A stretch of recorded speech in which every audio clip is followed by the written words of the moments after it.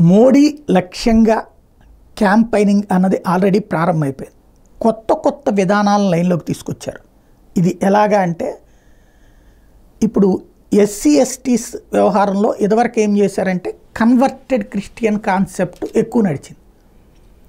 అది వీళ్ళు బీజేపీ దాన్ని చాలా పెద్ద ఎత్తున ప్రచారంలోకి తీసుకురావడం వల్ల ఇప్పుడు ఆ రూట్లో కాకుండా కొత్తగా బౌద్ధం పాయింట్ ఆఫ్ బేసిస్ మీద చాలా పెద్ద ఎత్తున అకస్మాత్తుగా ఫేస్బుక్లో వాట్సాప్లో తర్వాతన ఈ ట్విట్టర్లో ఇట్లా సోషల్ మీడియా ప్లాట్ఫారాల్లో అర్జెంటుగా బౌద్ధాన్ని గురించి బౌద్ధం పేరుతో అనేక సోషల్ మీడియా ప్లాట్ఫారాలు వెలిసినాయి.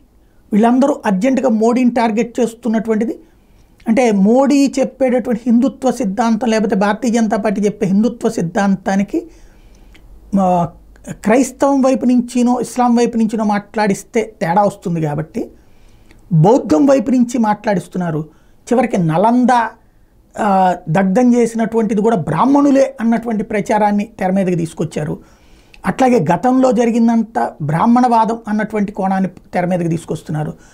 బ్రాహ్మణవాదాన్ని తీసుకొచ్చేటటువంటి వ్యక్తిగా నరేంద్ర మోడీని టార్గెట్ చేస్తున్నారు. ఇలా ఓవరాల్గా చూస్తే నరేంద్ర మోడీని కొత్త తరహాలో దెబ్బతీసేటటువంటి అంశం ప్రారంభమైంది.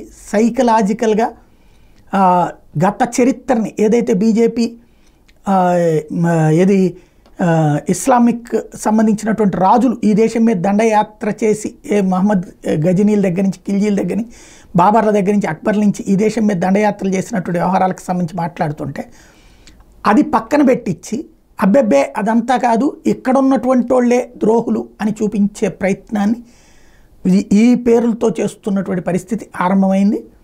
ఇది మోడీ వ్యూహానికి ప్రతివ్యూహం మరి మోడీ టీం దీన్ని ఎలా ఎదుర్కొంటుందో చూడాలి.